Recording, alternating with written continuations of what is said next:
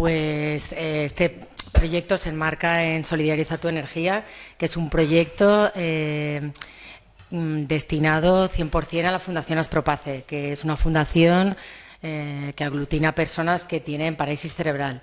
El proyecto Solidariza tu Energía consiste en unas pulseras elásticas en las que se han serigrafiado nombres, palabras positivas, valor, ilusión, alegría, mediante el cual eh, se, pretende que todas las personas que lleven las pulseras pues tengan las palabras y puedan cambiar su actitud, puedan cambiar el mundo. En esta época en que estamos todos un poco eh, quejándonos siempre de todo, pues ¿por qué no impulsarlo de esta manera? Eh, entonces el Villarreal Club de Fútbol nos apoya en la venta de estas pulseras, para las cuales se ha creado una edición especial, que como veréis pues es amarilla y azul con los colores del equipo y tiene un submarino. Entonces el partido del sábado que viene, que es contra el Celta, eh, a las 10 de la noche, pues en las puertas de acceso se venderán estas pulseras a dos euros para todos aquellos que quieran sumarse a la iniciativa desde aquí agradecer al club esta iniciativa, porque sois un equipo de primera y de primera de solidaridad también.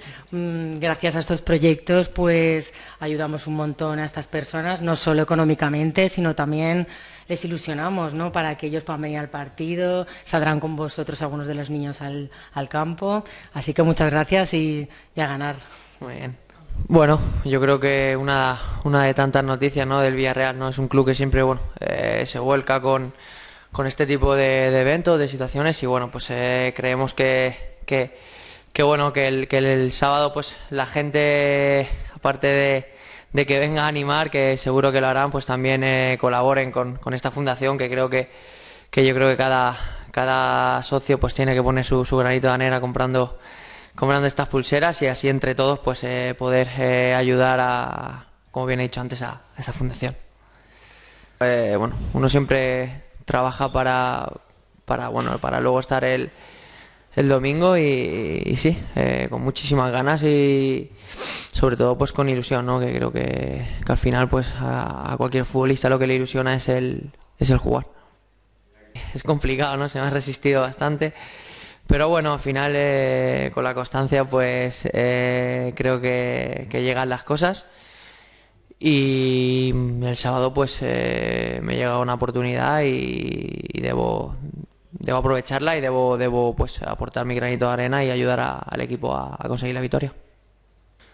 El sábado para mí pues sí, llámalo reto, llámalo revancha, llámalo como quieras, para mí es un partido importante, donde el equipo se juega cosas importantes y creo que que con esa con ese aliciente de, jugar pues eh, para mí es, doble doblemente importante esa victoria porque haría que que, que, que, se, que se espantasen esos fantasmas de, copa como tú dices pero bueno la verdad que eso pasa en segundo plano creo que tenemos que pensar en, lo que nos viene y, y lo pasado pasado está eh, es un partido complicado. Eh, es un equipo que, para mí tiene la zona, la parte de arriba tienen muy muy buenos futbolistas, muy desequilibrantes.